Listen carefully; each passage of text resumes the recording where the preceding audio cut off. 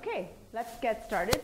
So today I thought I would uh, sort of finish up what we were doing yesterday um, by showing you existential types. Because if you've seen universal types, you have to see existential types as well. Uh, and then, um, you know, so far this is a logical relation for system F that's up on the board, which is a terminating language. So the other thing that I'd like to do is to show you how to extend it uh, for a non-terminating language. So we'll throw recursive types back in after we deal with existential. All right? Okay, just to sort of show you what the main changes are that you would make to something like this in order to handle uh, recursive types. Okay, so um, existentials.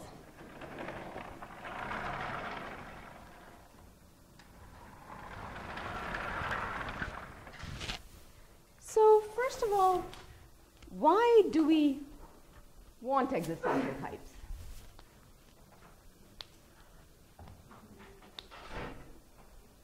So for instance, in a language like Java, when you write, you know, here's an interface uh, for something, and then you go off and implement it, right? Um, that's essentially, you know, you use that sort of technique in order to implement abstract data types. You know, I've been giving you this example of a stack. For a stack, you might declare an interface. You would say, okay, I have uh, an interface that gives me three methods. You know, I can create a new stack. I can uh, push onto the stack and pop from the stack. All right? So your interface would define the signature for that. And then you would go off and write an implementation. Um, there is a famous paper by John Mitchell from 1986 with this title, Abstract Data Types Have Existential Type.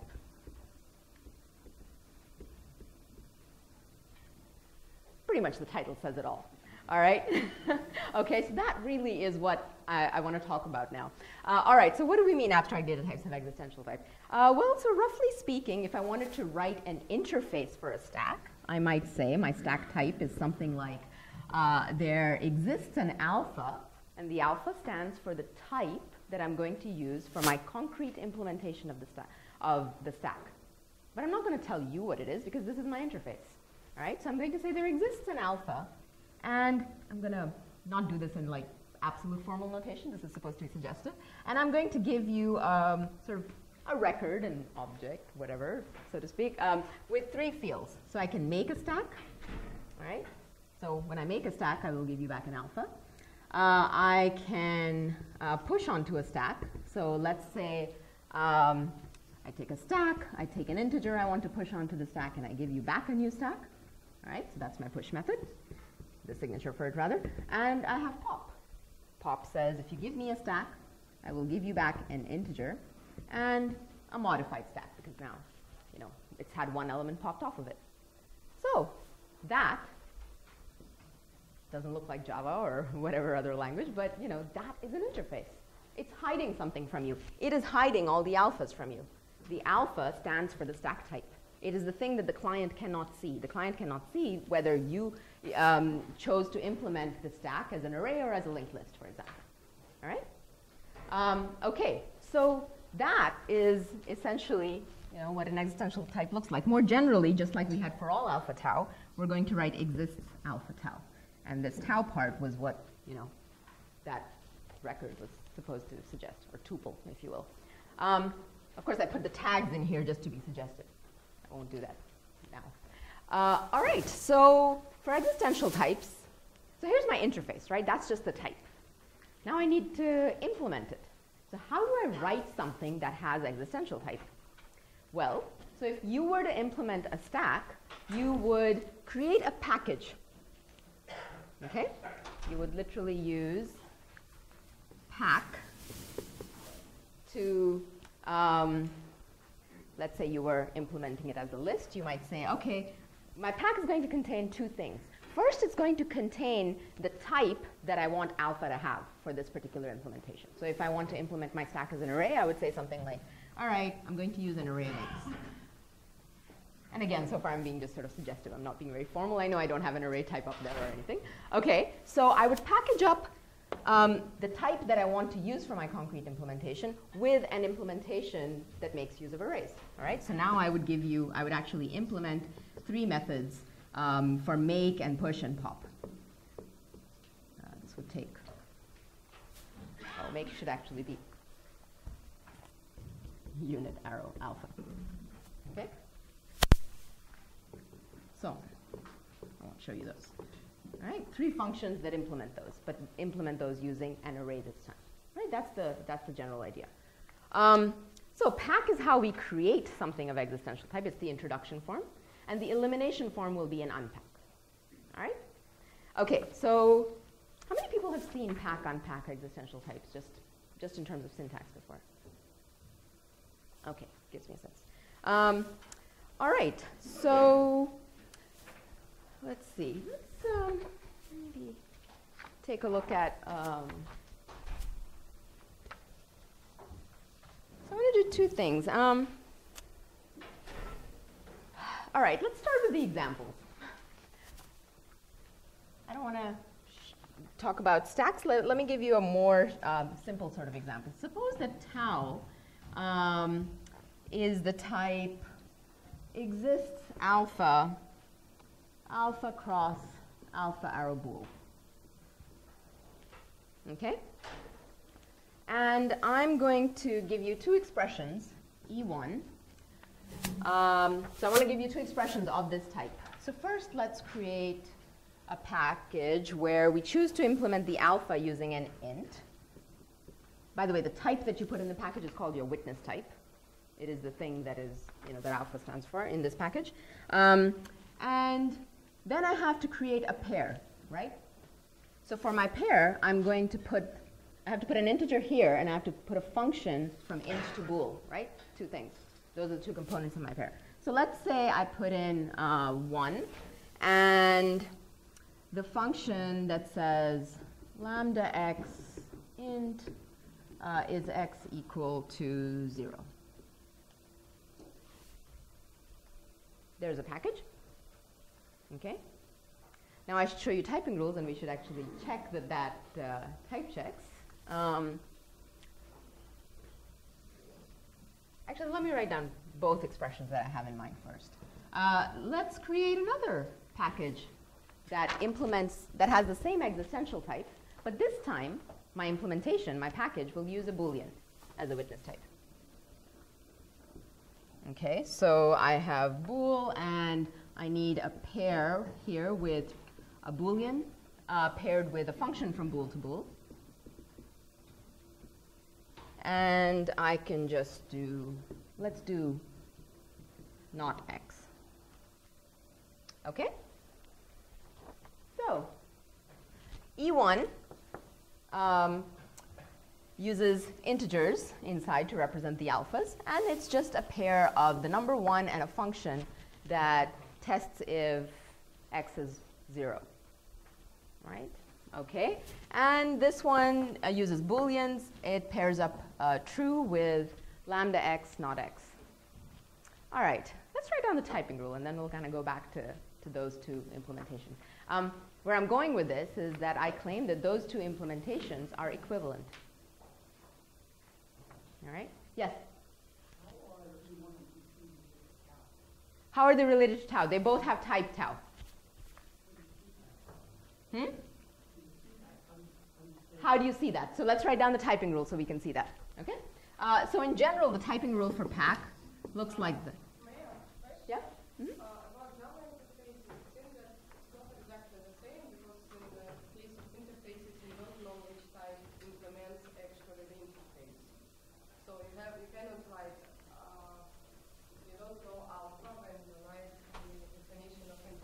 Yeah, it's not exactly the definition of interface, but you can translate a Java interface to that. Let's, uh, I can show you that offline. Okay? Um, this was meant to be suggestive that, uh, you know, you can write an interface like that. Uh, okay, so wait, um, coming back to pack. So if we have pack, the form of a pack expression is pack, a type with an expression um, as exists alpha tau right? And I'll tell you why I'm saying as exists alpha tau in the, in the syntax itself in just a second. Okay? So, um, well, basically I'm saying pack tau e as exists alpha tau is the introduction form that we're adding to our expressions. All right. Yeah. Oh, yes, let's do a different tau. That would be good. we don't want to make those two taus the same. The tau prime is what I'm using for my witness. All right, that's tau prime is going to stand for the alpha in here. All right, so when is that the case? When E, this E, has the type tau with this witness type, tau prime, substituted for alpha. Oh, and we should also make sure that tau prime is well formed in our current environment delta. Okay? What is this saying? This is saying I am providing some implementation. That implementation itself needs to type check knowing what the alpha is, so to speak, right? With the witness type actually plugged in for the alpha. All right? Um, and then we have an unpack rule.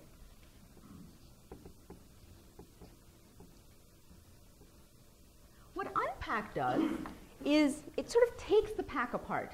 The pack has two components. It has a witness type, and it has the expression that implements that um, existential type, right? So unpack is going to pull out the tau and the expression. So we're going to write something like um, unpack alpha x equals E1 in E2. What that says is if E1 is a pack with a tau prime and an E, then bind uh, tau prime to alpha, sorry, alpha to tau prime, and x to that expression. All right? So we're just extracting the two components of that package, calling them alpha and x respectively, and then we get to use alpha and x in the body of the unpack to do whatever we want with those components. That's how we take a pack apart and then work with it. Yes? Maybe this is sort of like pedantic, but in the conclusion of the type essential instruction are you missing the typing judgment that doesn't have Yes, thank you. yep, I need to say colon. yes. Because as I said, this is part of syntax. All right, so let's actually come back to that. I forgot to come back to that. Um, why do we write as exists alpha tau in the syntax? Yes? You don't know which things to substitute, where. Right. We have no idea. If, we, if you don't tell me what interface you're trying to implement, so to speak, then I have no idea where to substitute. Right? What, what type do you want me to come up with at the end? What am I going to substitute um, that tau prime into, so to speak? Right? Okay, so that's very important. I have to tell you what, what interface I'm trying to produce a valid implementation of. All right, so um, unpack. All right, unpack is interesting. So basically the E1 has to be of existential type because it's the thing that we're trying to eliminate. So we need to make sure that E1 has type exists alpha tau. Okay, start there. Uh, now, I already said that you extract the components of a package and you bind them to these, you know, alpha and x, the type variable and a term variable, and then you can use these in the body of the unpack. The E2 is called the body of the unpack. So you can use alpha and x in the body of the unpack. What that means is that when you go, when we go and type check E, we get to extend our delta and gamma environments with these two um, variables. Yes, okay.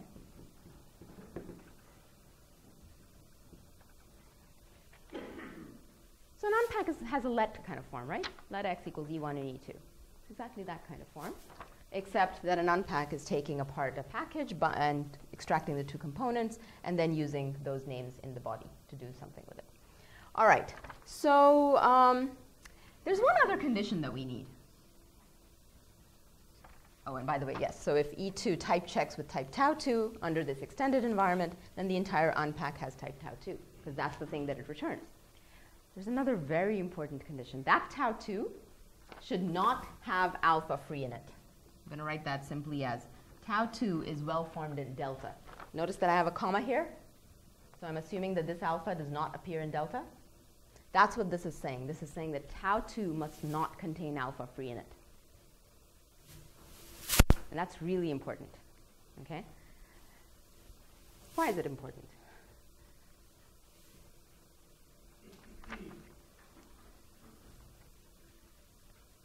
If I could take, the whole point is we're trying to hide the, the witness type inside a package, all right?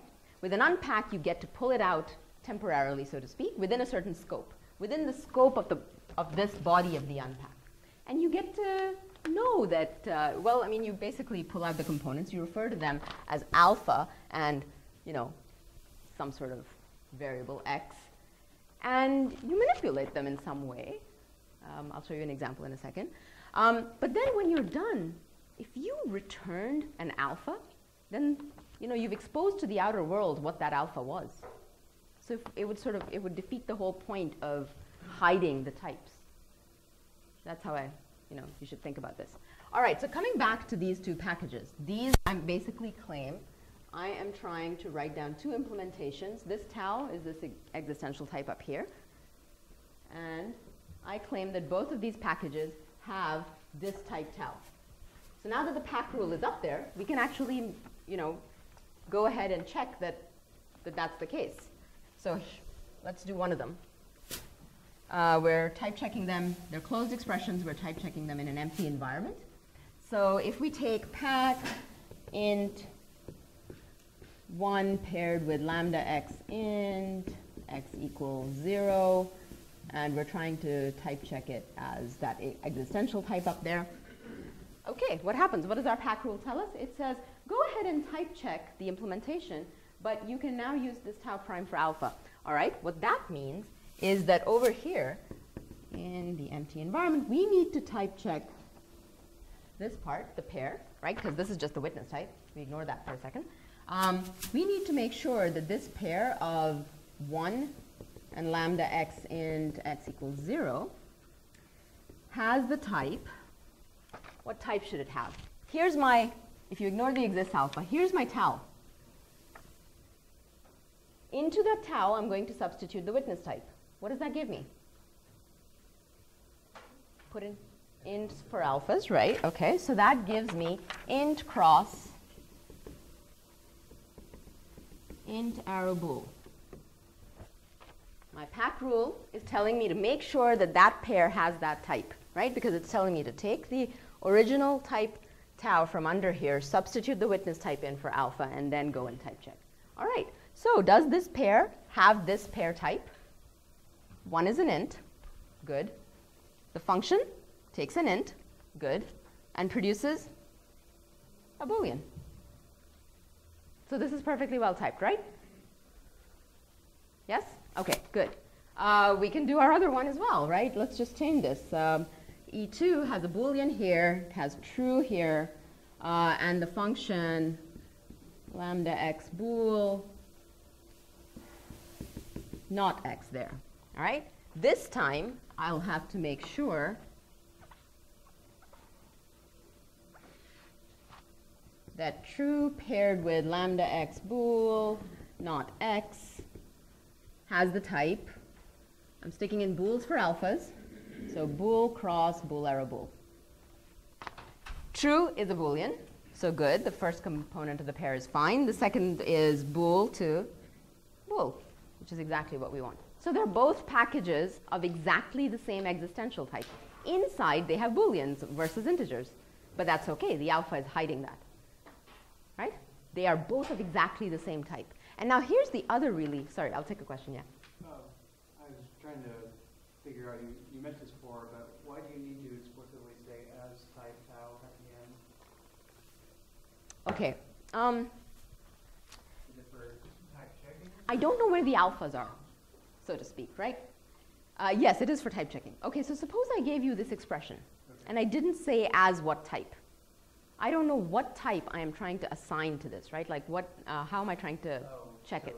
You wouldn't know where that expression, the would be plugged in? Exactly. Okay? If I don't know where the alphas are, I don't know where to plug in um, the witness type. Okay? All right. Um,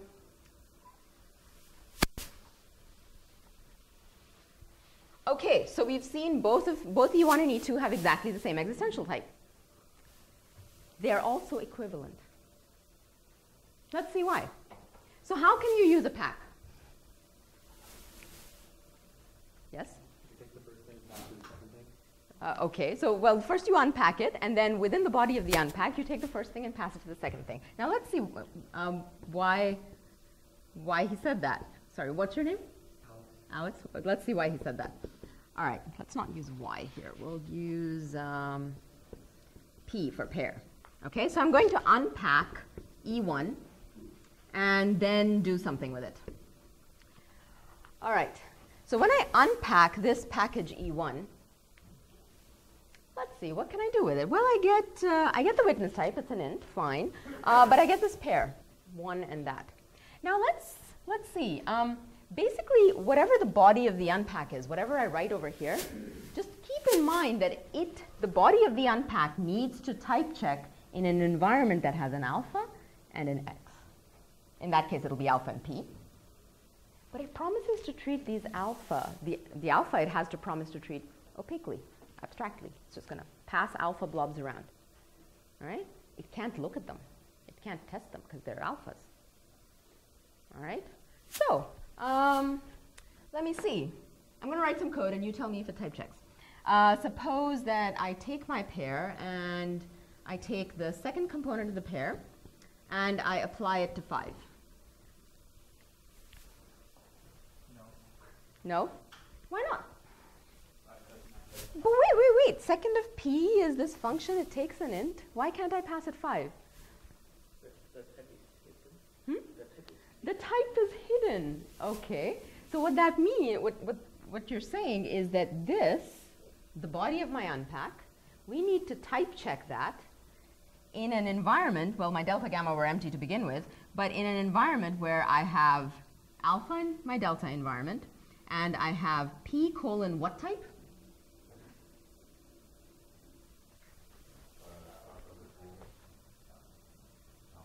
Alpha cross alpha to bool, not int cross int to bool, where int is my witness type. That's the key thing. Alpha cross alpha to bool. In that environment, I have to type check the body of the unpack, which is this expression. Sorry, very little space for a turnstile here. Um, but this is the environment in which I'm trying to type check this expression. All right, if I take the second of this pair, I get an alpha bool. An alpha bool wants an alpha as an input. It can't take an int, an arbitrary int as an input. So, what can I pass to this function? Where do I get an alpha? First of p, exactly. That's what he said.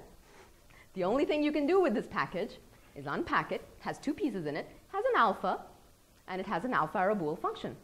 The only thing you can ever apply that function to is to the alpha that's sitting right there in that package.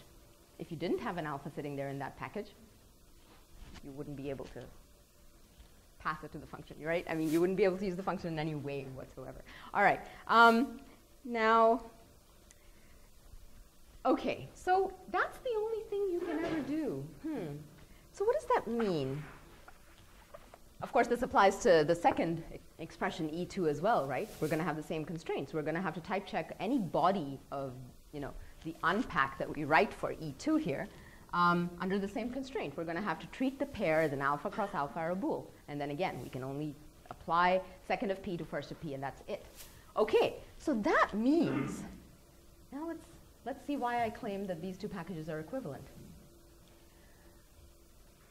At the type alpha, the only alpha we have in this world is 1. The only value of type alpha we have in this world is this 1. The only value we have of type alpha in this world is true. Remember how we were setting up relations, basically? Think of that as our relation is that 1 is related to true. This is an alpha value sitting inside E1, and this is an alpha value sitting inside E2. All right? Okay. Um, now, how do we use the unpack? All right, we have to pass 1 to this function. Is 1 equal to 0? No. So, you're always going to get back false, right? When you unpack this package and you apply second of p to first of p, you are always going to get back false. Because there's no other alpha. The only alpha you can ever feed in is this one right here. And when you apply this function to 1, you get back false. Here, when the only input you can ever feed into this function is the alpha value that's sitting right here. So you will have to apply this function to true, and not true is false. That function will also always give you back false. You just can't ever get back anything else because you can't feed in another, uh, a different value. These two packages are equivalent. You can't use them in any way and discover the difference between them, as long as you, you know, write well-typed code over here in the body of your unpack. Okay? Cool? yes? Uh, so what would happen if that tau was actually alpha cross alpha 2 alpha, and you tried applying it to the expression at the bottom? Okay, say that again. Uh, the tau was alpha cross. Alpha to alpha instead. What would happen in that expression below? Would alpha get weak somehow? Good question. All right. Um, first of all, these aren't currently, they're not well typed, right? Yeah? Okay. But still, we can try to see if we were unpacking some arbitrary expression E that had a type like that, exists alpha alpha cross alpha or alpha, um, what would we be able to, to do here? Well, we'd have to take second of P, right, and apply it to first of P. Again, that's the only thing that type checks. But now the problem is, so this is the body of my unpack, right? This is the expression E2 that's sitting right here in the unpack rule. Can I, can I simply write this expression, type check it, and be done with it? No. What, what rule am I violating in my typing rule? Or what? The last one. This entire E2 returns an alpha right now. So it takes in the right inputs and everything's fine, but it's trying to return an alpha. And you cannot return an alpha from the body of an unpack, as dictated by this. So that won't type check. You won't be allowed to write that. What you can write is something like this. Um, okay, let, uh, this is going to be a useless expression, but let uh, z equal that in 0, or true, or false, or whatever you like. Identity function. You can return some constant. That's perfectly fine. Yes?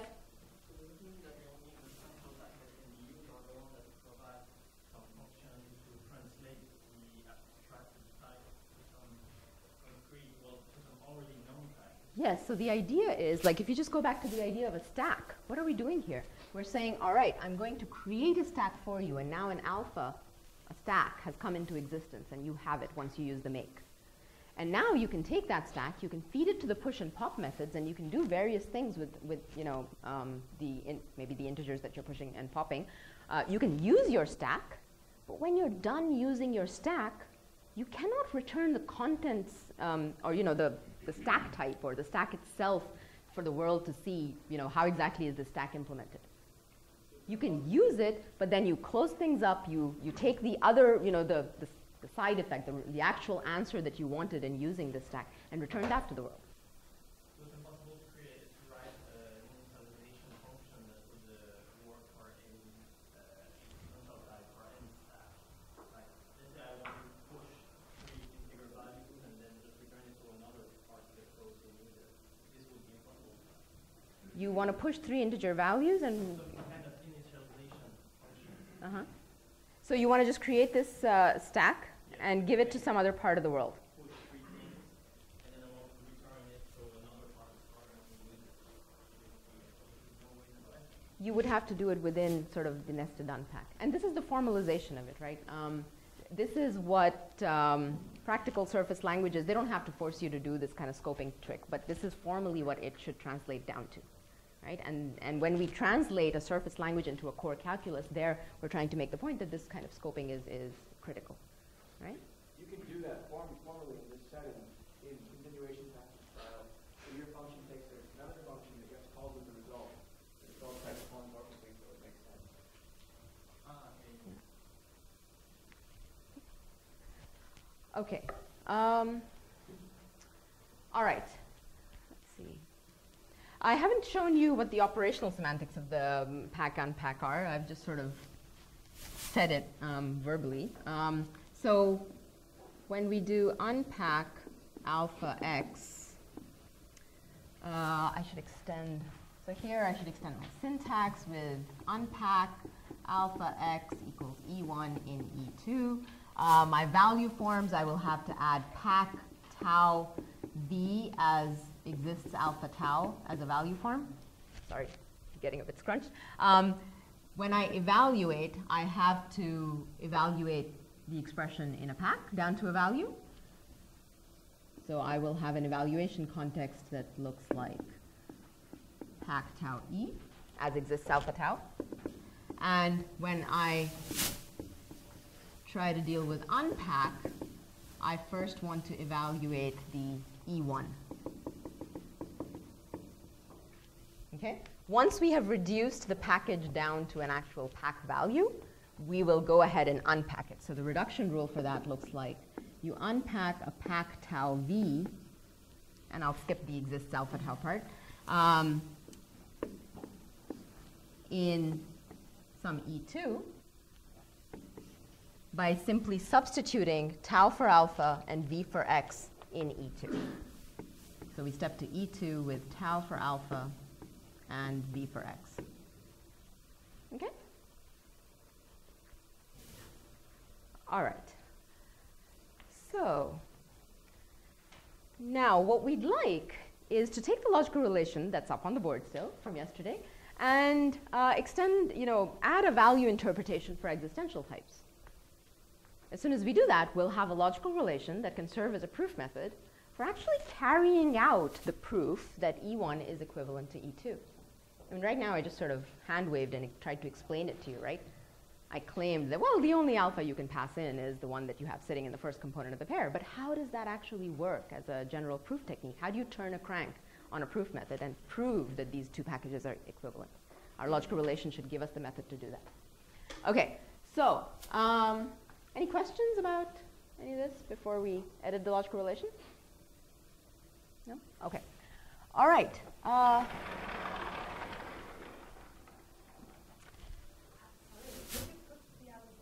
up? Yes, thanks.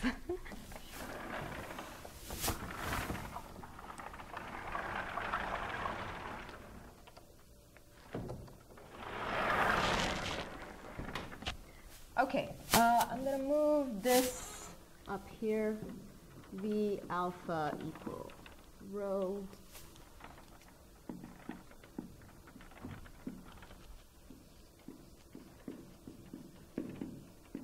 Okay, so the value interpretation of exists alpha tau. When are two values related or equivalent at the type exists alpha tau?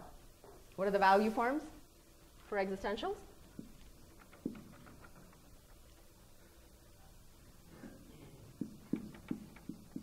Packs, pack tau 1 v1. I'll skip the exists alpha. Oh, okay, I'll write it. As exists Technically, it would be rho 1 applied to exists alpha tau. And the other value would be pack tau 2 v2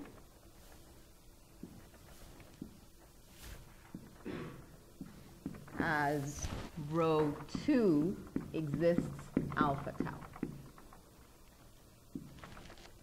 So I have two packs. They have two different witness types right? that matches the example that we have up there. Two packs, two different witness types. They have the same witness type too, by the way. You can write down two different pack implementations that use the same witness type but have very different code on the inside. They have different invariants. We'll look at another example of that in a, in a few minutes. Okay, so I want to, to be able to say when these two packs are equivalent. So whenever we set up these value interpretations, what do we do? How do we determine whether two values are related at that type? We think about the elimination form, right? We think about how do we use these values because we want to make sure that when we use these values, when we eliminate them, um, we get, you know, sort of related answers. All right, so how do we use packs? By unpacking, okay. So we might want to write something here which says, well, when I unpack alpha x equals, you know, this first pack, something should happen, and when I unpack the second one, something else should happen. Yeah? Should I try it out? Okay. Um, tau 1 v1 in, uh, in what? In some kind of E2 or E1?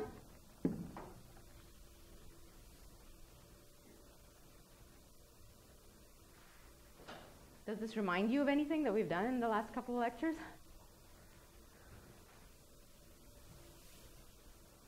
Think back, which type did we consider that has an elimination form that does sort of a let binding kind of thing, right? That has a body. Here, unpack, you unpack an E1 and then you use it in an E2. What other type have we considered where sums, yes. So with sums, you do a match or a case on the sum type, and then you have a body, right? You, you have different uh, things that you do depending on whether it's an in left or an in right. Okay, and what did we do with sum types? It did seem like a problem, right? Remember I talked about the fact that, well, you don't know that the, the branches of the case may have a results type that has nothing to do with the sum type.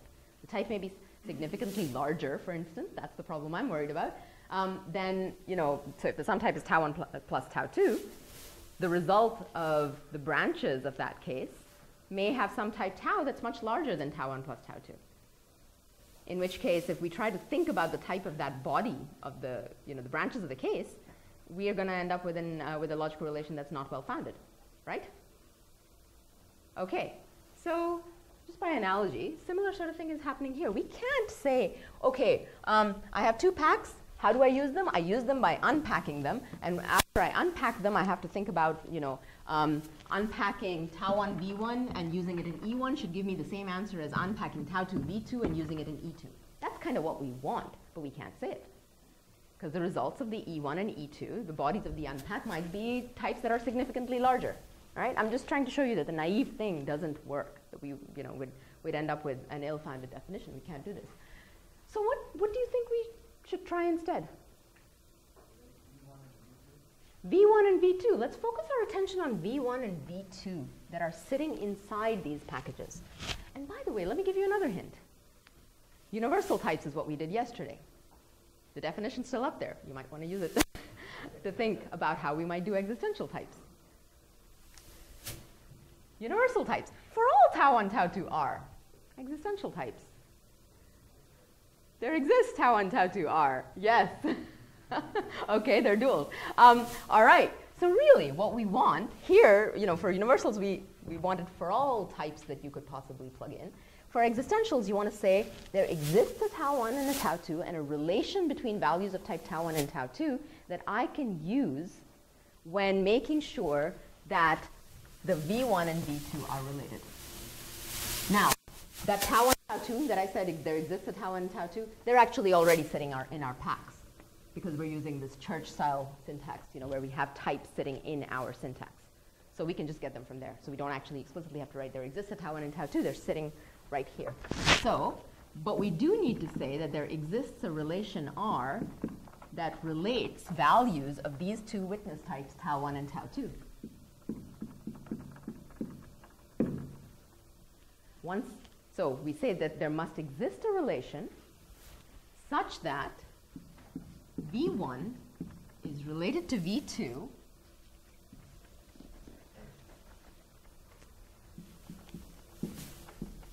their values. So at the value interpretation of what type?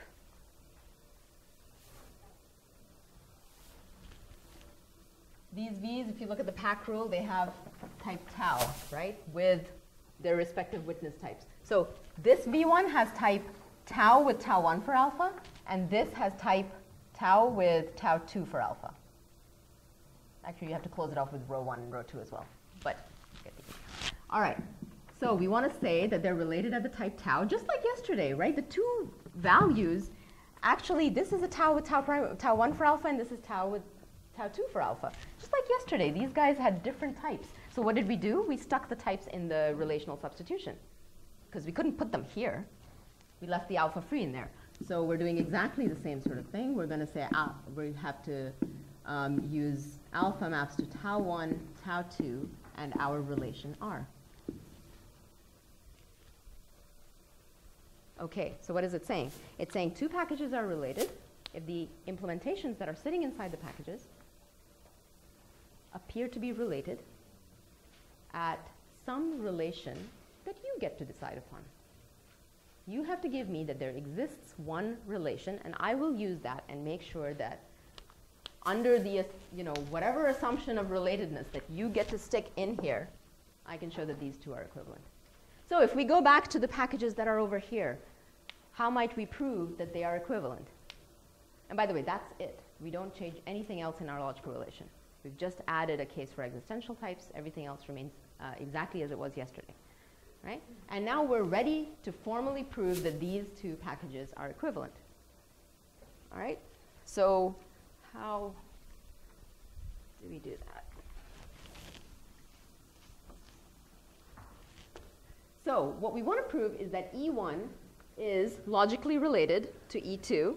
We're going to use this, right? We want to show that in empty delta gamma, this E1 is logically related to the E2 at this type tau, which is exists alpha, alpha cross alpha arrow bool. Right? Sorry, it's very scrunched up. Um, exists alpha, alpha cross alpha arrow bool. Okay, what does that mean? Um, it means, well, if we look at the definition, it says you get to assume a rho and a gamma that satisfy the empty environments. They're going to be the empty substitutions. And then we have to show that the two packs are related to each other in the E relation, right? So basically, we have to show that uh, pack int 1, etc., is related to pack that, so E1 is related to E2 in E of exists alpha, alpha cross alpha bool.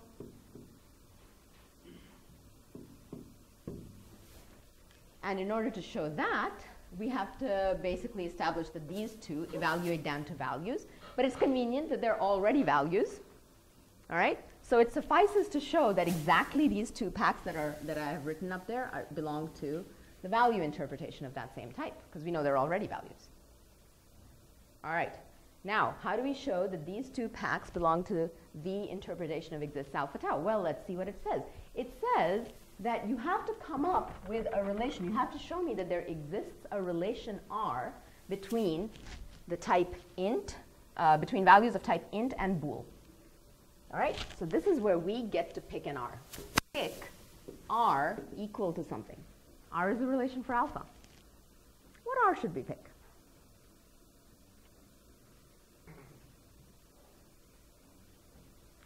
We'll have to pick an R that lets us show the following thing.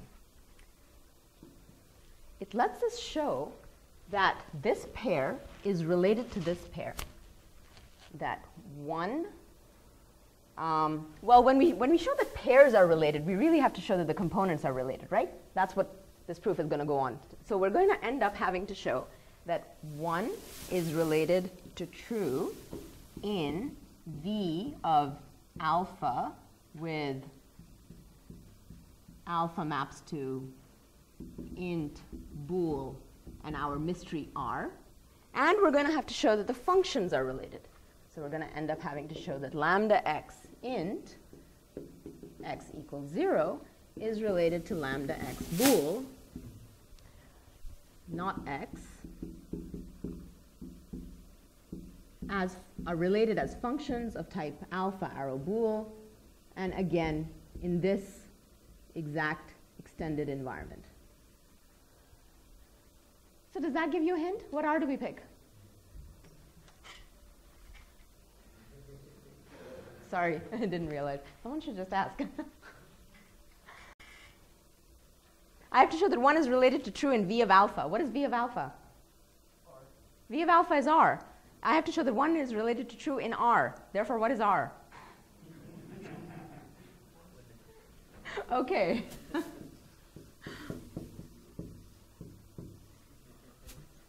All right, so if we picked R to be that, and we can do this with guesswork, right? Like, so, so, so far, examining the first statement we have to prove, it looks like R should be that relation, but let's make sure that that R is going to work for the second bit that we have to prove, right? We still have to prove that the second thing in that, uh, the second components of those pairs are related, right? Sorry, let me find a good placement for this. Here we go. All right, so now we need to show that the function lambda x x equals 0 is, is related to the function lambda x not x. How do we show the two functions are related? Well, the function definition says, give me two things that are related at the argument type. So I have to start by saying, suppose that I have two things, v1 and v2, any arguments that are related at the argument type alpha. v alpha, my environment contains alpha maps to int, bool, and our r. So I'm saying suppose v1, v2 are related at v of alpha. In other words, I'm saying suppose v1, v2 are in R. Therefore, v1 is 1 and v2 is true. Okay, so I know this now. And under knowing this, I have to show that the bodies of the lambda, in other words, x equals 0, is related to not x at the type bool. Oh, yes, I have to substitute, sorry. The x here is v1, and the x here is v2. We know that v1 is 1, and we know that v2 is true. Therefore, both of those are false. And false is related to false and bool, right? So our choice of R forced us. And how did it help us? It basically helped us at this point. At this point, we were forced to say, suppose that I have two arbitrary inputs for my function, completely arbitrary. But they have to be related at the type alpha. So anytime a function, you know, the function definition kind of says, all right, you have to show two functions are related, you get to, you know, you, you have to start by assuming that you have two arbitrary inputs that are related and then show that your outputs are related. Here, what helps us is that, yeah, sure, there are two arbitrary inputs that are related, but they, know, they come from the relation R that we got to pick, so we got to sort of cut down our space to just the one and the true. And then the rest of the proof goes through, right? So again, it's just the power of parametricity. So this, um, so we, we use the word parametricity when we're talking about universal types, and we use the word representation independence when we talk about existential types. But it's just a dual concept. It's, it's just a representation independence is a consequence of parametricity. And the phrase means that the representation of the witness type, of all of the alphas, is something that clients of this existential type will never be able to see. Right? And that's sort of the essence of modularity um, in the software that we build using statically typed good statically typed languages, right? Okay. Um, all right. Um, so that's existential types. I think I'm going to do a lot less than I thought. So let me maybe pull. Um, here's what, uh, what is on my list. And maybe I'm going to just get a show of hands to, to assess what I should cover and what I should cut. All right. I want to talk about recursive types. There's something really interesting to show you in terms of how you edit this in order to handle a non-terminating language. In particular, right here, where we say two expressions are related, right now we say that they both run to values and the values are related. You can't do that when you have non-termination, and that's, there's a little subtle thing here with step indexing that I want to show you. That's one thing. Um, then I wanted to briefly talk about how you prove logical relations are sound and complete. But um, all of that is, is in uh, OPLSS lectures from past years, so you can just go and look at it. And the third thing that I wanted to talk about is um, I have a bunch of slides which essentially kind of say a little bit about um, the history of logical relations, mainly touch upon step index logical relations and you know, what work has been done over the last uh, decade or so. They just give you sort of initial pointers to what's out there. Um, and they're sort of from my perspective, obviously. Um, so it's not utterly comprehensive, but it's, uh, there's quite a bit in there. So, but that, there's an emphasis there on application. All right, which ones do you want? um, Sorry, what is that? Is the first one on lectures of previous years? Uh, is what in the lectures of previous years? The third one, yes. Um, I have covered uh, those slides in previous years. I can tell you exactly which previous years. I've added some new stuff now because those were previous years. But new stuff. Okay. Um, but they're mostly, they're, it's just sort of a survey. It's applications, all right? Okay, all right. Okay, um, let's do that. So I will tell you how to find the old stuff. Let's start with that, actually. All right, so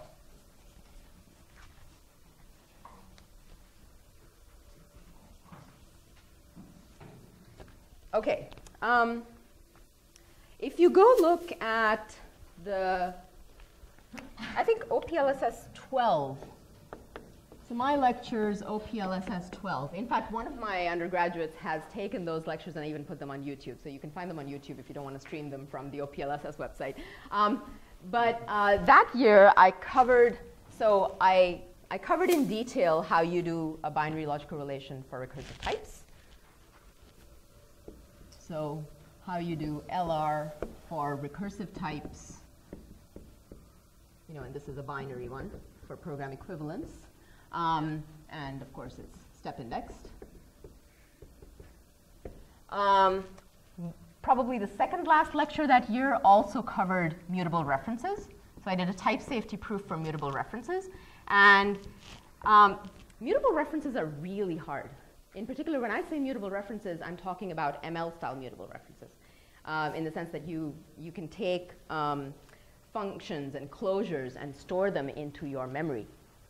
Once you can do that, you can create cycles in memory. Once you can create those cycles in memory, um, the semantic model that you try to build for that becomes utterly circular, and it needs to be stratified. And the step indexing helps you stratify it. Okay, so all of those, de those details are, are in that lecture.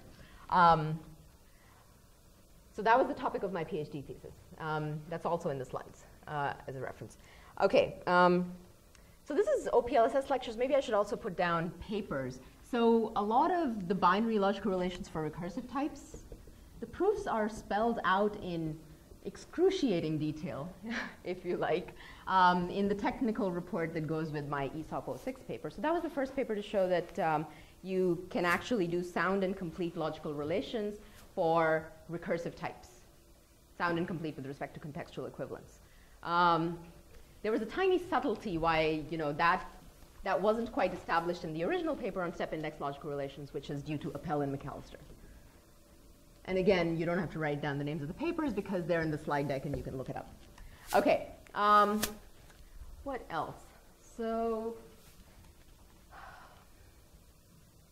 soundness and completeness is also covered in these lectures, like the technicalities of how you prove that logical relations are sound and complete with respect to contextual equivalence. And that's a really important thing. I, I kind of keep coming back to it because, you know, that's why we build these logical relations. We want a proof method to show that two programs are equivalent. Right? And so knowing the details of how, you, once you've set up this logical relation, how do you establish that it is exactly the same thing as what is defined by the you know, contextual equivalence? That's, that's critical. That's important to know and do. Um, okay, so so the OPLSS 12 lectures cover all of that, and I believe the last lecture that year does cover sort of the survey. And um, for all I know, I may have said more than I'll manage to say today. I can't remember. Okay. Um, all right. I think that's it. Was there any other particular point that? No? All right. Yes.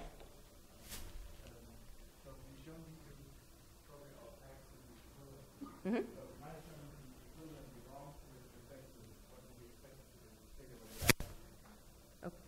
Okay, yeah. It could both be null, null operations, but we don't have any notion of saying that they are stacked. We just say that they are equivalent with respect to the interface.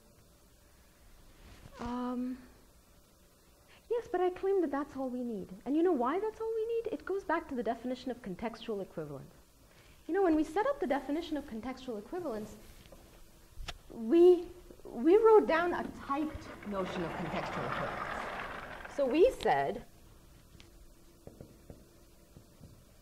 Is this marker okay, or should I use a darker one? Okay, all right. Um, we said that E1 is contextually equivalent to E2 at some type tau if for all possible well-typed contexts, for all C that take something of type tau that type checks under delta gamma, right, so that we can plug in these E1 and E2, which type check under delta gamma, have type tau under delta gamma. So we want a context that has a hole of this type and produces results of that are closed programs of type bool. And then we say that it is in those, you know, in all such well-typed contexts, it better be the case that C with E1 produces the same value as C with E2.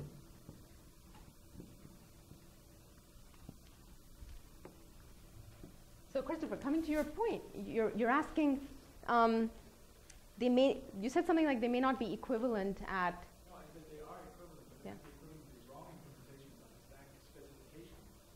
the stack specification might be wrong? No, right, so, so we go back to, we have, we have an alpha, that's the stack. Mm-hmm. We have an alpha, uh, uh, cross it into alpha, right, that's the push, Yes? and the positive alpha to the cross alpha. Yep. Right, take alpha to be the boolean, and then the make be true, right? Okay. And then pop always just, um, returns zero and the same boolean, Mm-hmm. and the push always just returns the same boolean, ignores the argument. Okay. Do same trick with the right? So it always just returns zero. All right. Those two things should be equivalent, right? That we push and pop, and we always get the same. Okay, so you have two packages, they're doing something that's not very stack-like at all, but they are equivalent. Agreed. So in other words, you're trying to point out that what we are talking about, right? We're just, you're absolutely right. We are simply talking about when I write down two different packs that implement an existential type, I can use this proof method to show that they are equivalent. And we might be able to do that, but that does not, that is not verification of code. That does not tell us that these two are valid stack implementations, right? You need to write a much richer specification for a stack implementation and then go take, you know, take a pack implementation and verify it against a rich specification in order to know that it is in fact a stack. Yes? Yes, that's a, that's a, that's a great point. Yeah. If in E2 we have uh, false and the same logic function, then E1 and E2 are not. Exactly. So if I have false here, then these two packages are not equivalent. We will not be able to prove it. Yep. So I guess it's kind of like having a naive implementation that you produce a spec, and then you can zero it back. That is, a, uh, that is uh, exactly the, the right idea. In fact, uh, so in the slides, um, I, I briefly talk about um, how we can set up logical relations for uh, concurrency. And then what you can do is you can um, think of the logical relation as instead of E1 equivalent to E2, think of it as an implementation refines a specification. So if you have a concurrent language, you can write down a sequential specification for some concurrent data structure and then show that your, you know, very fine-grained concurrent data structure actually implements that specification, refines that specification. And the idea why I'm writing less than, right, we, we don't want equivalence. In sequential, what we want is that every single behavior of the implementation, and the implementation is concurrent, so it might have many different behaviors, but every single behavior of the implementation should be a possible behavior of the specification. And the specification can be purely naive, simple, sequential code, right, for the same data structure. All right. Um, so this is, uh, this is what we did in our POPL 13 paper, and then there's um, follow-up work as well. Uh, okay, so We have also lectures on 2013. Is there anything new? I have uh, lectures in 2013. I think I mostly covered. Oh, yes, 2013 has one very new lecture. Um, um, so, my recent research over the last two, three years um, has mostly been about compiler correctness. So, you know, on day one, I said to you, you can use logical relations to prove uh, compiler correctness. In particular, the idea there might be you can do this in a, in a bunch of different ways. Um, but one um, simple idea that's been around for ages is that you can set up a cross-language logical relation. So let's say you have a source expression that compiles to some target expression. All right? You can set up a logical relation that relates different languages on the two sides. So far, we've been setting logical relations to do equivalence of, of two programs in the same language. But you can set up a logical relation, I call these cross-language logical relations, to relate source programs to target programs. Um, and then you can use that logical relation as your definition of what equivalence between source and target should mean. Right? Compiler correctness says when you run the source thing, you should get the same behavior as when you run the target thing. So you can essentially capture that statement by specifying a logical relation. Um, so my, back to my lecture in, um, in uh, 2013. Um, I think it's probably the second last lecture, or maybe it's the last one. It's a very long one. I went over time. I, I, I compared two approaches to doing correct compilation of components. Um, and I say components. Let's back up a bit. I'm sort of covering what's in my slides, uh, but never mind. Um, okay, so if we talk about CompCert for a second. Um, CompCert for the longest time, do people know what CompCert is? Yes. Okay. CompCert is a verified uh, compiler for C uh, that Xavier Leroy and various of, uh, colleagues of his have been working on since uh, um, about 10 years now. Um, and it's really um, an amazing um, project. Uh, the CompCert compiler has actually been subjected to significant random testing, and it has come out to be, you know, uh, more robust than GCC and LLVM, which have been in production for decades.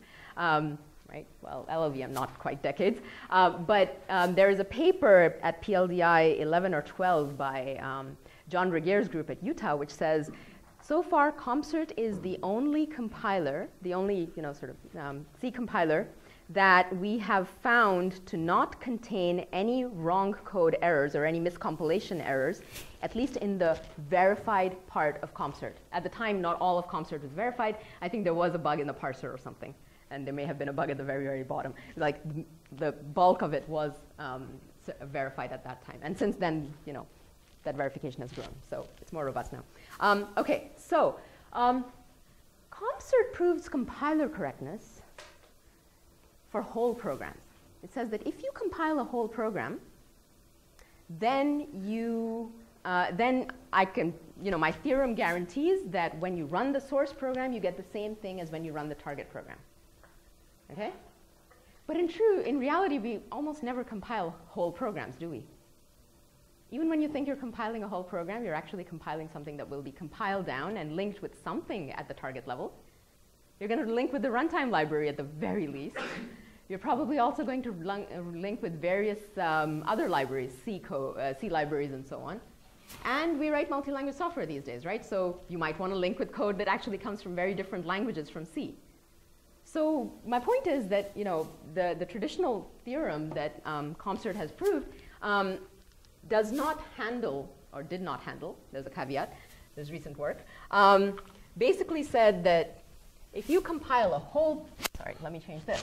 If you compile a whole program P to a whole pro, whole source program to a whole target program, excuse me, uh, then when you run the source program, you're going to get the same observable trace of events as when you run that compiled target program, PT. And basically, the way that the proof works is you line things up. You say that there's a simulation between these two um, behaviors, right? Um, if PS and PT are related, then and I take one step here, then I'm going to uh, then I can take one or more steps at the target level, and things will line up again. That's essentially how the proof goes. But if you think about it for a second, and I'm keeping this very high level, but you know you can't if the source and target program were components, how do you run a component? You can't run a component, right? You have to talk about the context in which that component will eventually live. You have to talk about what you're going to link it with. And that notion, you know, um, that is called compositional compiler correctness. You want to be able to write down a theorem that says the compilation of a component is correct, not just the compilation of, a, of an entire program. And this is a really active field of research right now.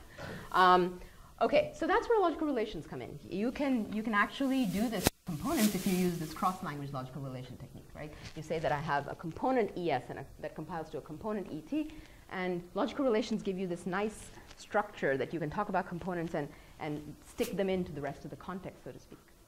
you have already seen this, right? I talk about um, there. When I talk about the open logical relation, imagine that this is source and this is target. These guys specify what my inputs are. So think about this at the low level and the high level, right?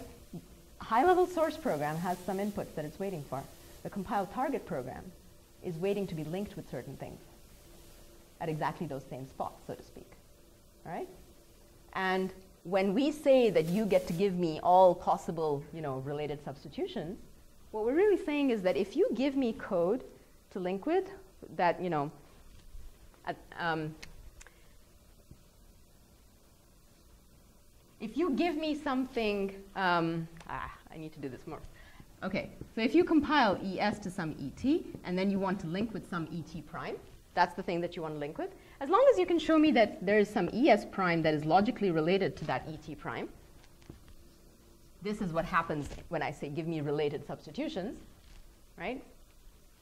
Then I know that when I put this whole program together, I'm going to get the same behavior as when I put that whole program together that those two will be related. That's kind of the idea. Okay? That's, that's why I keep saying um, that these cross-language logical relations give you correct compilation of components. All right, so that lecture basically goes into, it does an instance of, uh, you know, a really naive compiler transformation, uh, but it shows you a cross-language logical relation for proving it correct. And then I show you the drawback of the cross-language logical relations approach.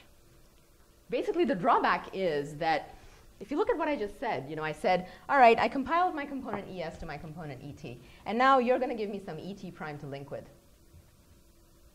But before I can say anything about whether it's okay to link with that ET prime, I'm, I'm demanding that you also give me some ES prime that is equivalent to it, equivalent using my logical relation. That's a really strong requirement. What that says is that, I, that, that, that compiler correctness theorem is only allowing you to link with code that is related to something in your own source language. You can't link with code that might come from uh, maybe other more expressive source languages. Okay? Or at least you don't have a good way of reasoning about that. I mean, what's worse to me is that there's no way to sort of just type check the target component and at least have some, um, you know, sort of, okay, you, you are allowed, you know, the theorem does allow you to link with this kind of thing. The only way you can definitely know that it's okay to link with this arbitrary other target code is if someone also tells you that it, it is in this equivalence relationship with some source code. And that source code has to be in your language. So as I said, this is an active area of research. So anyway, um, my students and I have been tackling this with call something called a multi-language semantics technique. Um, and that lecture basically does a whole proof using a cross-language relation, shows you the drawbacks of it, and then does a whole proof using a multi-language uh, technique. All right? And I have references to various papers and things in my slides as well that we can go into. So yes, OPLSS um, 13. It's either the last lecture or the second last lecture that is about compositional compiler correctness and how logical relations fit into all that. And by the way, the multi-language um, technique that I'm talking about also uses logical relations, so it's not that it doesn't. Um, all right, should we, let's jump into it, yeah?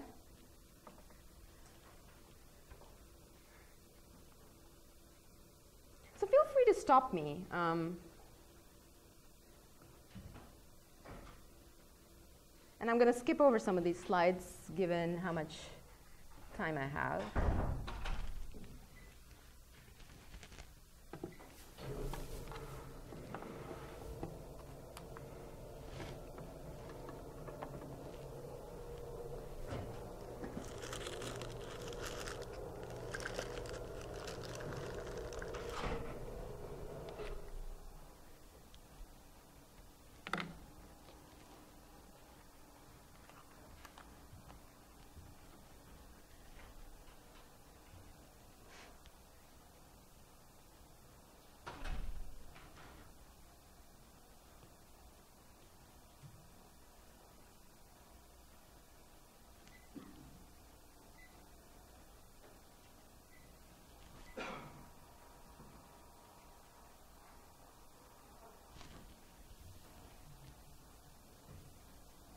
Hmm. Cut off.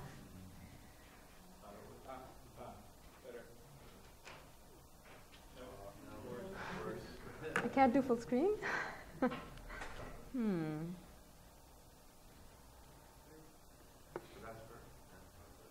That's perfect. okay.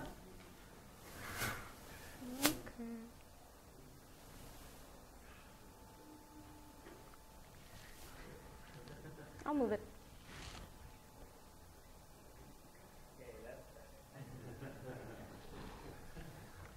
Never happened before.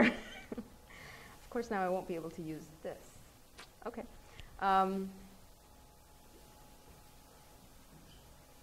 all right. I guess I'll manage. Uh, all right. Um, okay. Well, this is just um, what I've been saying to you. I'm making a distinction between unary logical relations and binary logical relations. And you know, again, I just want to keep you. Um, one of the takeaway messages is, you know, the slogan that I've been repeating from the very beginning that uh, logical relation basically says I'm going to take something that has the property and give you back something that has the property, right? Or I'm going to take related inputs and give you back related outputs. Uh, let me just jump ahead to sort of talking about uh, the history. And move this. No. Hold on. Good? No.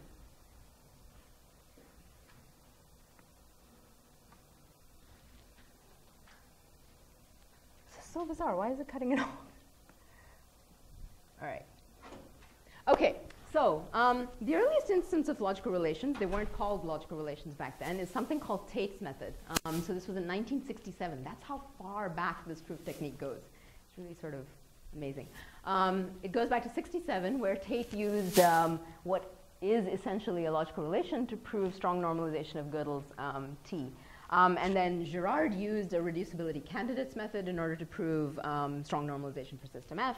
Um, and that reducibility candidates are essentially a form of logical relations as well. We didn't, um, so you know, the, when I say reducibility candidates, that has something to do with the REL relation that we were setting up when we were talking about system F right? I'm talking about Girard, so I'm talking about system F, the second order polymorphic, uh, the second order lambda calculus. Um, and basically, it was this idea of, you know how when we tried to give the interpretation of for all alpha tau, we couldn't stick the tau 1 or the tau 2, we couldn't substitute it in for the type for alpha, and then more importantly, it was that for all relations R that relate values of type tau 1, tau 2. That relation, those, you know, this, this word candidates refer to the good relations that I can stick in here. Right, so you will sometimes see this. They will be called admissibility relations or they will be called candidates. Um, and they all have to do with what are the properties that you're building into that rel. And you will need richer properties as you um, try to do logical relations for richer languages. Right? That's just to sort of give you a hint of the, of the terminology that you might encounter. Um, all right, so I think, excuse me. I believe it was Plotkin who first coined the term logical relations. And um, I, I wish Bob was here. He isn't. No. Okay. um, right. So um, there's some question as to why logical relations are called logical relations at all. Uh, one explanation could be that it's because um, if you look at the, the, the, type interpretations that we're setting up, right, it's, it's all based on the logical structure of the types if you examine the definitions that we have written down, the V interpretation, the definitions always decomposed on, according to the logical um, structure of the type. So for interpretation of tau 1 cross tau 2, the definition refers to the interpretation of tau 1 and the interpretation of tau 2, and so on, right? Um, but I don't think that that's the original reason that Plotkin used it. And there's a nice post somewhere on the types list. If you Google it, you'll find it even now, where um, someone asked this question probably around the early 90s, and uh, Plotkin replied and said, well, I was actually thinking of this. Um, but don't quote me on it because I don't remember the details. Uh, okay, so um, the two really important papers are right here. Uh, John Reynolds, 83, uh, Types Abstraction and Parametric Polymorphism um, that really establishes that the second order uh, lambda calculus, or system F, um, has this property called parametricity. Okay, so that's sort of the landmark paper. Um, and then three years later, John Mitchell wrote this paper, which I was telling you about earlier. Um, oh, no, this is not the one. John Mitchell wrote a paper in 85 called, called Abstract Data Types Have Existential Type. Um, but this paper essentially establishes representation independence um, and how that connects to data abstraction. Exactly the concept that we were talking about today, right? Um, and representation independence for existential types being a sort of the dual concept, and in fact, a consequence of parametricity from existential types. And then there were lots of uses. Um, there's the literature is really kind of littered with various uses of logical relations, and sometimes they're not even called that. Um, but I'm going to focus sort of on uh, my neck of the woods in some sense. So around around 2000, um, here's what I would say were uh, sort of the well-known shortcomings of logical relations. They were used in all of these little papers for theoretical, you know, kind of toy languages. We didn't know how to do logical relations um, for a combination of features that appear in the practical languages that we use today. So in particular, I would want logical relations that can handle uh, not just polymorphism, but also recursive types and also mutable references all at the same time. And that didn't exist. Right? In fact, mutable references that, you know, were really tough. Just this idea of, of what I mentioned before, um, because you can have closures, that you can store in the heap. You know, and that led to certain circu- semantic circularities that people didn't know how to address.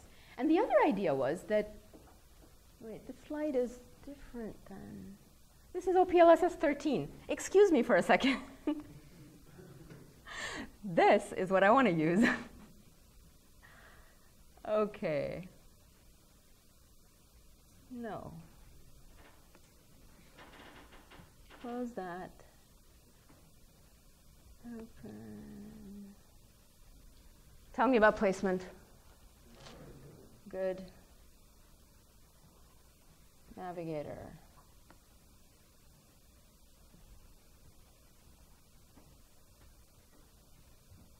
All right, I'm here. Okay. I changed the slides a little bit. Um, I added a bunch later, so it'll be important. Okay, so um, mostly they were used for toy languages. And the other thing was that people had mostly, you know, when you talk about a logical relation for simply typed lambda calculus, the world is pretty simple. It's, um, you know, there are no circularities that arise from any weird features and everything is nice and elegant. But as soon as you start to add language, uh, sorry, add features to your language, like even if you just add recursive functions, you have to, if you're sitting in the denotational world, you will interpret, uh, you know, the terms in your language um, and types using um, um, CPOs or something, using some sort of denotational semantics trick to, to, you know, handle the circularities that arise in the presence of those things. So there were mostly people who were working on denotational models, basically come up with some sort of a mathematical representation of, um, you know, a mathematical model for your language. Um, and basically, you know, the kind of math that you use, the categories that you use, et cetera, becomes rather complicated when you add these really sort of difficult new features. And the other thing was that, you know, um, it wasn't really easy how to compose different denotational models. Like if you have a denotational model that is able to handle recursive types and now you want to go in and add mutable references, people, it, it often felt like you kind of have to start from scratch. And this, this pertained to even like uh, models that people were doing using game semantics. Like people uh, had game semantics models at the time which allowed you to reason about um, equivalence for uh, polymorphism. And then there was another model for mutable references. But I remember talking to people and saying, wait, so can't we just put them together? And the answer was, well, it's not obvious at all.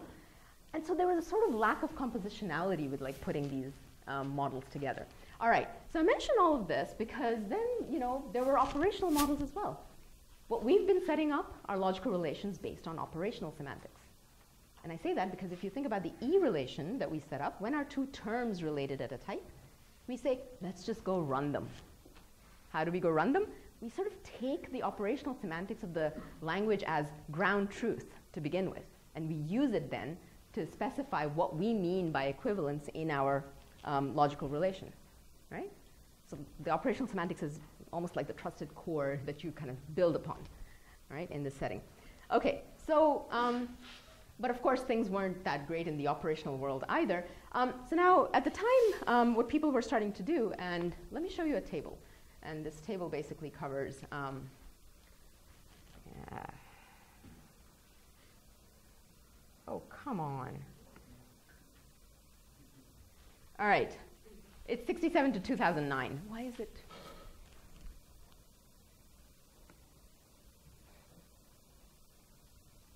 View. Slide only. Hmm? Sorry, say that again? If I just do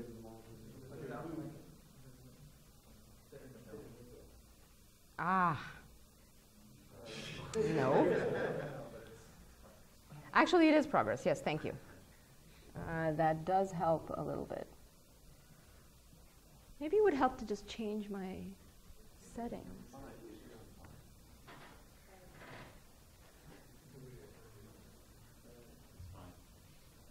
Except it's not going to be fun because I've lost my navigator bar. and uh, in this mode, I can't.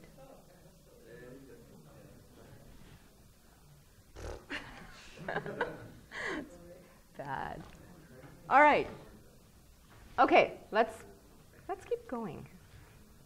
Um, all right. So here's a table. Um, at the very top, you see uh, Tait and Girard. Uh, so those are unary logical relations, and everything else that I have on this slide are binary logical relations, sort of selectively chosen.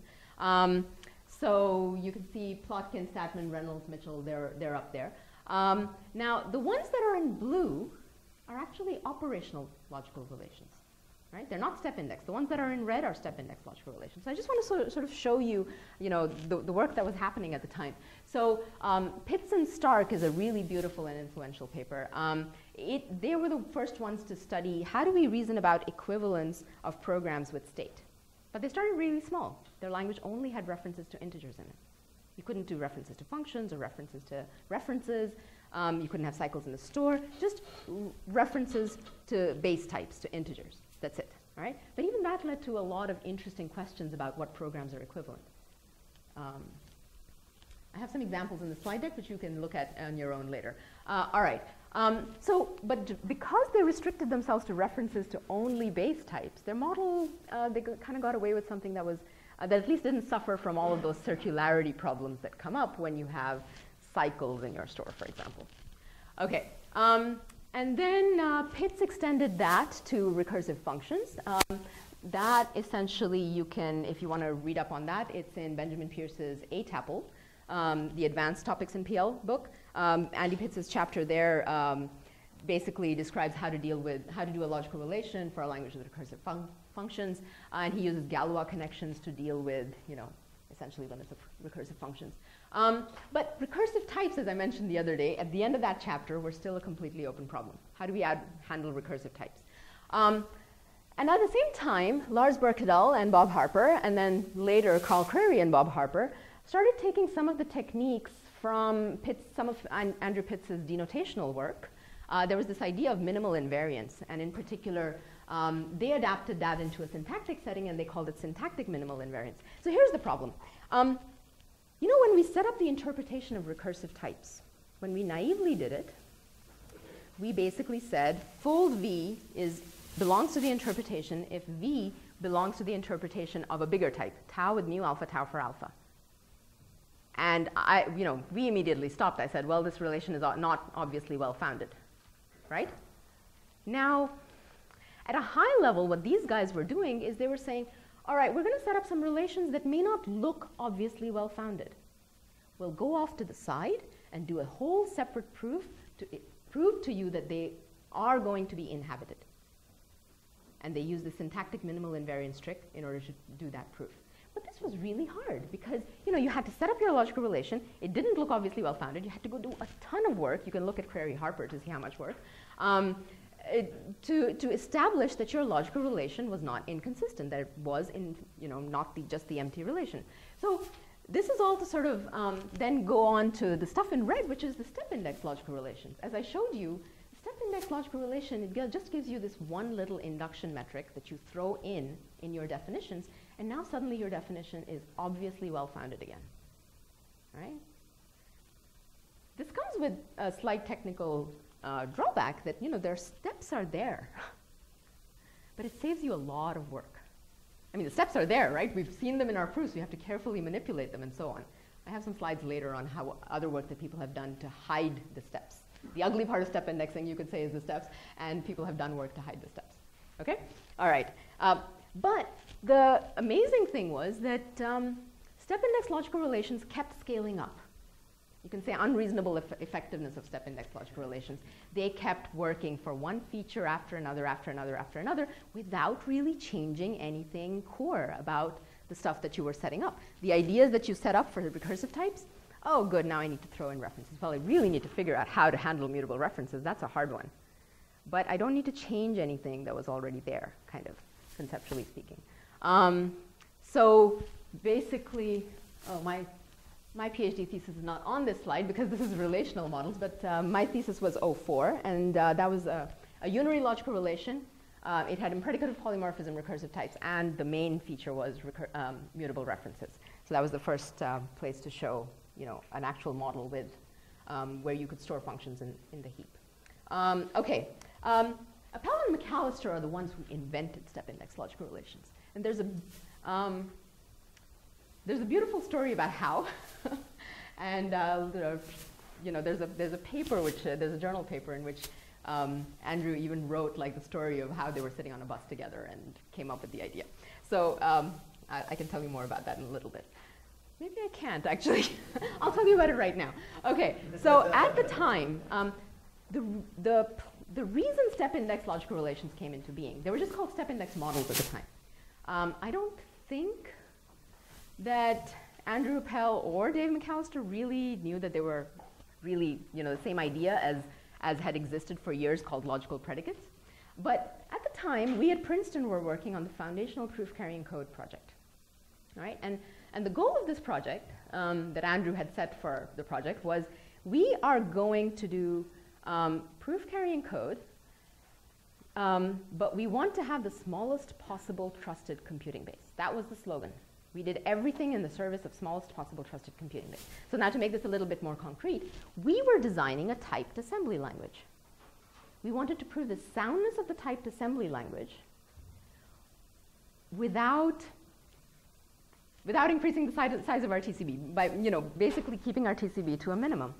Um, at the time, uh, and we were mechanizing things. So at the time we were using Twelf. So the question was, all right, I have a typed assembly language. I want to prove, I want to mechanically prove the entire type system sound. And this was done because you know there was another proof carrying code system out there. Uh, George Necula's uh, Cedilla systems had developed something, and you know it became someone found a bug in one of the low-level assembly typing rules, and this was obvious that you know when you get to the assembly level, you really need verification because there are too many rules, there are too many little assembly instructions, and you can't get all the details right if you know you say here are my typing rules that I use that my type checker uses, but here on proof I have done a paper. So we wanted mechanized proofs, and now I, nowadays I don't have to sell this to you, but back then this was a big deal. All right, so um, we could do this using Twelf. So we could encode progress and preservation proofs using Twelf, but Twelf had um, basically a lot of, you know, it had a coverage checker, a schema checker, et cetera. These were the, the pieces of the software that you needed in order to uh, check progress and preservation proofs, in order to make sure that you have full coverage of all of the cases, et cetera. And we didn't want to trust that. So we went back to sort of, you know, um, foundational proof carrying code, went back to first principles and said, all right, how do we, how do we build a model of the type system? We didn't even fully realize that we were going back to like a denotational kind of thinking, but we weren't going to interpret types as um, math, you know, mathematical objects. Types were not going to be inhabited by mathematical objects. They were going to be um, inhabited by syntactic terms and the operational semantics, basically the instruction set architecture of the machine is what we took as this is going to be part of our TCB and we're going to try our best not to add anything to it. So that's the context. Um, but of course, in that context, we very quickly ran into this issue of Oh, recursive types are hard. How do you do a model of recursive types? Oh, mutable references are hard. How do you do a model of uh, mutable references? Um, and for a while, um, Andrew um, worked on um, basically taking Viswanathan, I think was the name, um, was a PhD student of John Mitchell's at Stanford who had a model for various things, and Andrew started formalizing some of it, but it was uh, and you don't want to go there. Um, and then he went to this conference where he sat with Dave McAllester on a bus for a, to go out for the recur, you know, the, the outing or something, and they came up with this idea of step index logical relations. Sorry, very long story. um, so, and the idea, as you've seen, is really simple, right? Um, it's just this idea of giving yourself a certain budget of steps. Uh, and all you're doing is you don't really have to count every single step that your program takes. We didn't have to count the beta reduction step. We did. I was just sort of trying to make things uniform. The only place where you have to decrement the step index for recursive types is when you do an unfold of a fold, because that's where the circularity lives. There you have to subtract one. Um, in the case of mutable references, um, again, you can leave beta reduction and all the other things that are happening in your language. You don't have to count steps for any of that. You just have to count steps when you read from a reference and when you write to a reference and when you allocate a reference, right? The things that have, the operations that have to do with references, there you have to decrement in order to make sure that um, you're not ending up with a model that's circular. So that's sort of the, the overall history. All right, and this slide is about relational models. Um, ultimately, you know, this um, ESOP 06 paper is about recursive types. It's binary logical relation for recursive types and polymorphism. Um, and then this was uh, the big paper, uh, POPL 09, which which showed how you can prove really interesting equivalences of um, modules that um, essentially use state in a very interesting way to set up representation and uh, you know invariance uh, to set up invariance between two different packages, relational invariance. And I'll I'll leave it at that. Uh, okay, so I'm going to skip over uh, this mutable references stuff. You can there's sort of a high level description of, of what happens. Let me just talk about some of the applications. Um, so I've already mentioned what is on this slide, I think. Foundational proof carrying code. The relevant papers are up here if you want to take a look at them. And this is the recommended reading that I was just telling you about that tells you about the history um, of step index logical relations. Um, so just to give you a glimpse of the other things that have been done. If you're interested in any sort of substructural types, linear types or affine types, um, at least linear and affine types as applied to state. So do people know what linear and affine types are? Linear is, you know, you can, it's, they're, they're extremely useful for reasoning about resources. The idea that, you know, I'm going to give you something and you can use it exactly once, that's linearity. Uh, an affine type would mandate that I'm going to give you something, you can use it at most once. You may not use it at all. With linearity, you're required to use it exactly once. Um, so those sorts of ideas, you know, people have known for a long time are really use, might be really useful um, for reasoning about resources, and state is a resource, memory is a resource. So these papers um, deal with that. Um, okay, so unary step index logical relations were also used for proving soundness of concurrent separation logic. Uh, and this was done as part of uh, the verified software toolchain project at Princeton. And again, I'm just going to sort of go over these. If you have questions, you can stop me. Um, I've already talked about uh, the POPL 09 paper, which deals with mutable references, and there's a very nice follow-up paper, which I think actually cleans up the ideas that we had in the POPL 09 paper.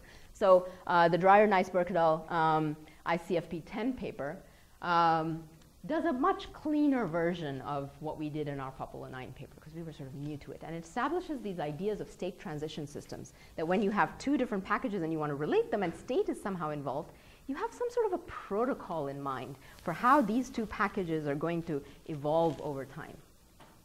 And I'll leave it at that. okay. Um, all right, I'm going to skip over some of these other things. Oh, I'll say one thing. So historically, logical relations were always defined by induction on the structure of types.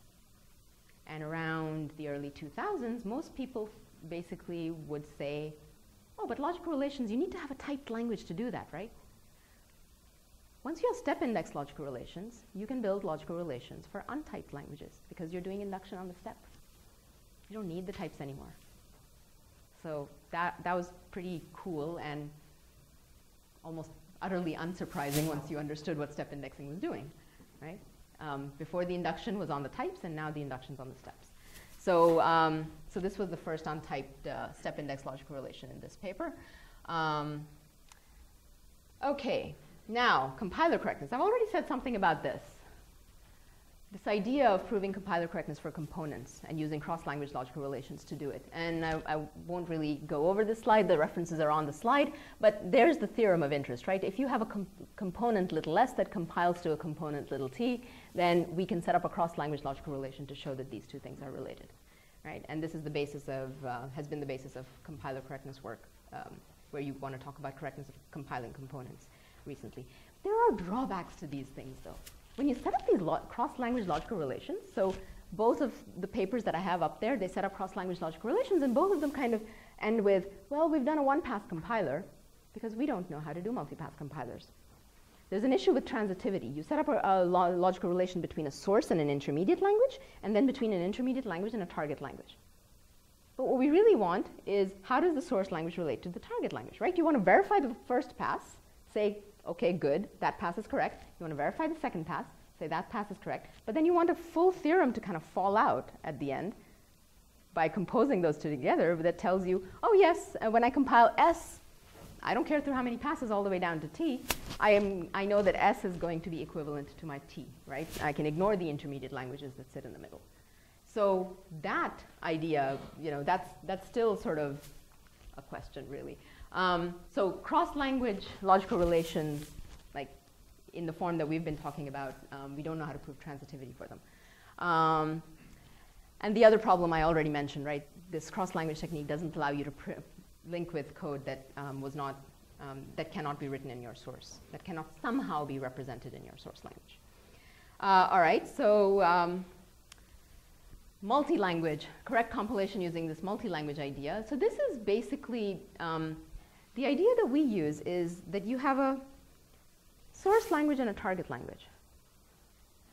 Really what I want to do is say that I, if S compiles to T, then I want to link with some ET prime, remember? Let me do this with a pen. If I have some ES and I compile it to some ET, and then you give me some other component, ET prime, and I want to link with it. Really, the behavior of this combined program should be, morally speaking, the same as if I could take this component that you just gave me and link it with ES. Intuitively, that's what we want. We want to be able to say that somehow, but our compiler correctness theorem can't say that because we don't know what it means to link a source component with a target component, right?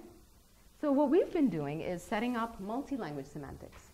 Set up, take the language S and take the language T and add two things to it, these boundaries, ST and TS, which allow you to embed target code into source code.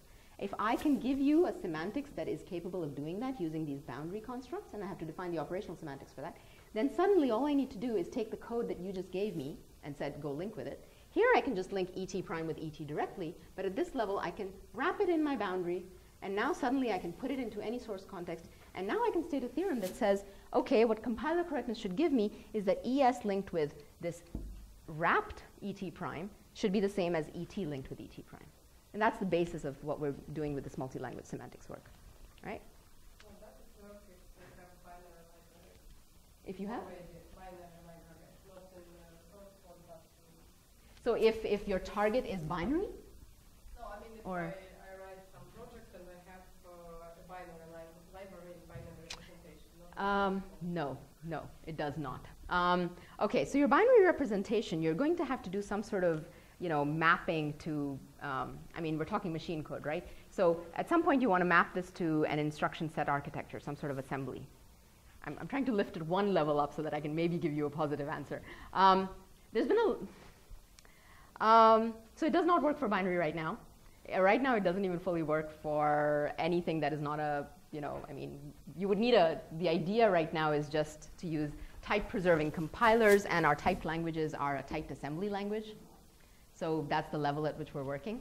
Um, so the short answer is no, it does not work for binary yet, Right. at least. For example, in .NET Framework Library, you have this intermediate Mhm, language. yep.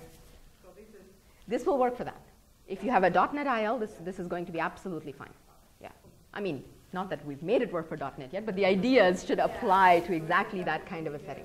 Exactly. As long as, so, so, so far we have figured out how to do this for as, as long as you're doing type preserving compilation. Um, and even there, you know, I mean, we're not incredibly rich in terms of our language yet. Um, our source language, for instance, didn't have references when we did it for this paper. Um, so, but the ideas are hopefully scaling up. We figured out how to do references now. Um, all right, now um, I should really stop soon. uh, let me kind of go on. Um, let me contradict myself in the very next statement. Um, let me jump to where I, I should have said, let me jump to where I should stop. Um, you want quick highlights? Uh, logical relations have been used for proving uh, type systems for differential privacy are actually safe, give you privacy. They've been used to verify concurrent data structures. You can look at these slides uh, later. I'm going to skip over the entire section about hiding steps. Um, let's talk about some open problems. These are really, from my perspective, they're open problems I'm interested in. We don't have um, we don't have proofs of parametricity for rich uh, dependently typed languages. Let me say that with a, there's a caveat. Um, we do have proofs of parametricity for uh, the calculus of constructions, for example, at least for the extensional calculus of constructions. Um, but I would be particularly interested in um, parametri- proving parametricity for dependent type theories that have mutable state in them. And in particular, I want to do that because I want to be able to design dependent, uh, a dependently typed assembly language so that I can write down rich specifications about assembly code all within the type system. but there's this massive sort of problem sitting in the way. We, we don't know how to set up logical relations um, for rich dependent type theories, like Hoare type theory. So Hoare type theory is HTT, um, is a really beautiful dependent type theory. It's an extension of um, the calculus of constructions, but basically it allows you to write down very fine-grained, um, well, it, write, it write, lets you fully specify what's happening with the state in your computations with pre and post conditions. That's why it's called, it's called Hoare types. It's kind of like Hoare logic concept of pre and post conditions of a computation. Um, and then the other problem that I'm interested in is um, fully abstract compilation or secure compilation. I'll just tell you what this is and then I'll stop. Um, so usually when we prove compiler correctness, when someone loosely says the phrase compiler correctness to you, what they mean is what is at the top of that picture. They mean semantics preserving compilation. And basically, um, it says that if you have a source ES that compiles to an ET, then if you run ES and you get some value, roughly speaking, then that's going to be equivalent to what you get when you run ET, when you run the target code, right? And here I've just, the picture says values, but really it's about when you run ES, you get the same observable trace as when you run ET. Okay. Um, what equivalence preserving compilation is about is something far richer. Um, it says that if you have two different components in your source language, ES1 and ES2, and you know that ES1 is contextually equivalent to ES2. Okay? Think about the two packages that we proved are equivalent today, right? And, um, if you have two things that are contextually equivalent in your source and you compile both of them down to ET1 and ET2, I want to be able to prove that the target components are contextually equivalent in the target language. This is a really hard property to prove because your target language, normally your source languages, you know, like your source language might not allow you to do jumps, right? Um, it, like some, any sort of control sort of behavior. Uh, but at the assembly language level, you can jump all over the place, right? You have control. You have first class control. So how, so you can, the expressive power of our target languages is far greater than the expressive power. Expressive meaning, you know, I can do things to sort of tell the difference between two components much more easily at the target level than I can at the source level. Okay? So, why do we, why might we want to, to, for our compilers to have this really rich property, that all equivalences should be preserved? You might say, well, you only ever compile one program. What is this two program thing? Well, remember back to lecture one. There are certain properties, certain security properties, like non-interference, that we can't even express by just talking about one run of the program. We just can't talk about them. We have to talk about them by talking about two runs of the program. So when I'm saying that I want relatedness of the source to be preserved after compilation. I want that relatedness to be preserved at the target. What I'm really saying is I want my compiler to be sort of security preserving, non-interference preserving if you have a security type language, right? Or just sort of all of these abstract data types that we have, right? Two different packages, my client can't tell the difference. Well, after you compile, it would be really nice if the clients at the target level can't tell the difference. And here, really, the concern is what if my clients at the target level were uh, written in the target language, which doesn't, maybe doesn't have existential types, or were compiled from a very different language? They might have far greater expressive power. They might be able to tell the difference between um, the compiled code in a way that there is no source code in the source language that would ever be able to distinguish those two things. Right? So it's a security problem. It's really about secure compilation. Um, and there's been some work on this. We've done, uh, you know, you can prove closure conversion is, is secure. You can prove CPS translation for a really simple language is secure.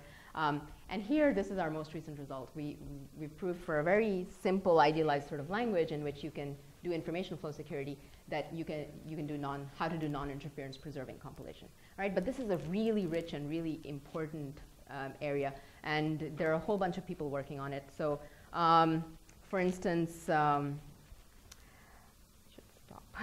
um, for instance, um, I'll refer you to two papers. There's a paper on uh, fully abstract compilation to JavaScript where they took uh, simply typed lambda calculus with references um, and they uh, show how to do fully abstract compilation down to JavaScript. And this is important because JavaScript is the assembly of the web, really, right? That's where linking happens. If you want certain security properties of your language, you're compiling it down to JavaScript and then linking with other JavaScript code, you would like to prove that your compiler is equivalence preserving or fully abstract in order to make sure that security properties aren't being violated. Um, and, um, and there's another group um, in Belgium at Leuven. Um, they've been working on how do we do secure compilation and use um, sort of new hardware tricks, something like protected memory architectures, um, in order to enforce security instead of using um, a lot of the work that we've been doing. We, we use types at the target level to enforce security properties. They've been using hardware techniques and dynamic checks. All right, I'm going to stop there. You guys can look at the slide deck. Sorry for going over. Um, thanks so much.